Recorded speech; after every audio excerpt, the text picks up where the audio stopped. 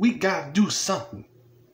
We gotta get rid of that lousy kindergarten board and send every other smiling critter out there to get us.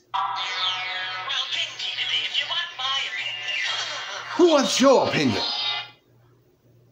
What I want is a plan that's gonna get rid of that lousy kindergarten once and for all.